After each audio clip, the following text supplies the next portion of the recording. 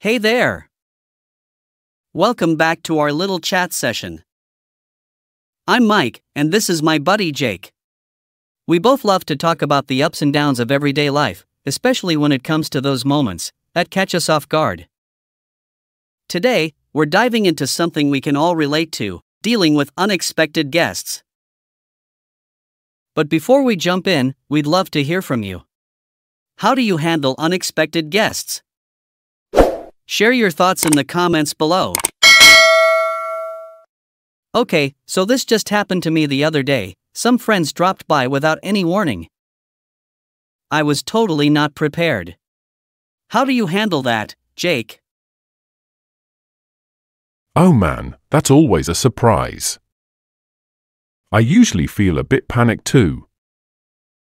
When the doorbell rings, my first instinct is to just freeze and hope they go away.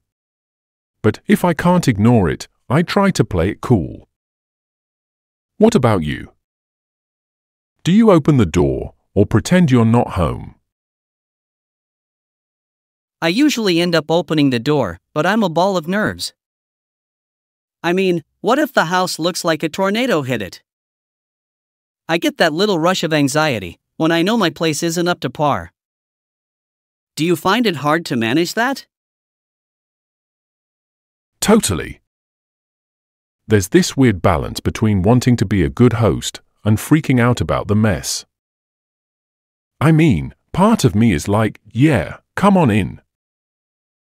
But then I'm panicking inside, thinking, oh no, the dishes are piled up. I've learned to just roll with it and keep it casual. If they're good friends, they won't care too much about the state of my living room. Exactly. Speaking of casual, what's your quick go to snack or drink for those surprise guests? That's a great question. If I have some chips and salsa lying around, that's always my first choice. It's easy and everyone loves it. If I'm really in a pinch, I might just grab whatever's in the fridge, like a cold beer or soda. How about you? I usually keep some frozen pizzas in the freezer. I can whip one up pretty quickly. But I feel a little guilty if I tell them I only have a few minutes to spare. Do you think it's rude to let them know you're a bit pressed for time? I don't think so. Honestly, if you're not feeling up to hosting, it's okay to be honest about it. I've done that before, just said, hey, I can hang out for a bit, but I've got to run soon. It's better than feeling like you're putting on a show when you're not in the mood. So true. I mean, sometimes you just want some quiet time, you know? Do you ever feel pressured to entertain more than you want to? Definitely. It's tough sometimes. Like, I want to be a good friend, but I also don't want to feel like I'm hosting a party every time someone drops by. I've had friends who are super chill, and they get it when I'm not in the mood for a long hangout. It makes it easier. Right. And what do you do if they end up staying longer than you expected? How do you hint that it's time to wrap things up?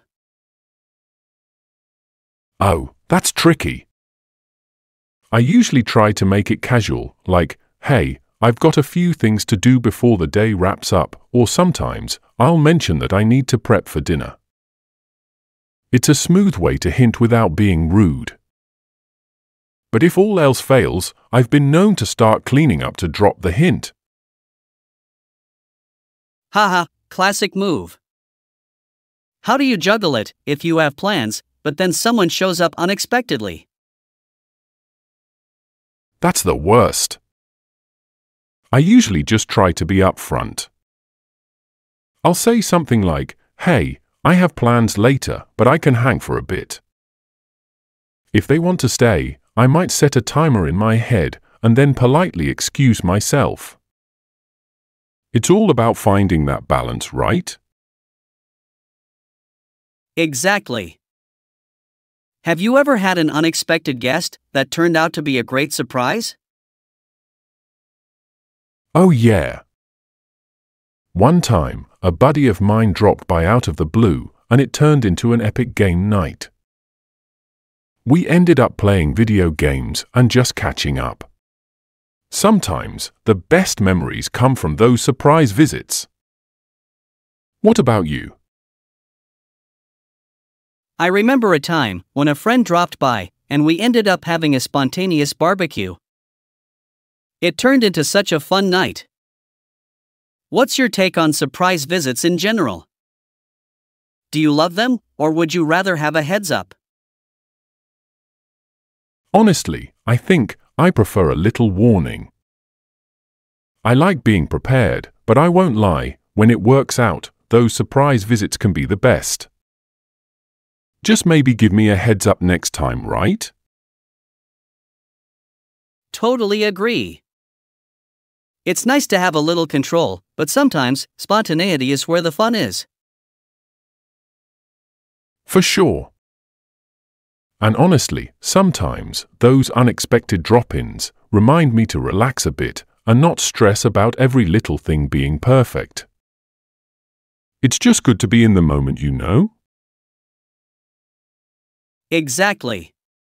It's about embracing the surprise, even if your place isn't spotless. At the end of the day, it's the company that matters. Well, Jake, this was a fun chat. It's always great to share our experiences and strategies for those surprise visits.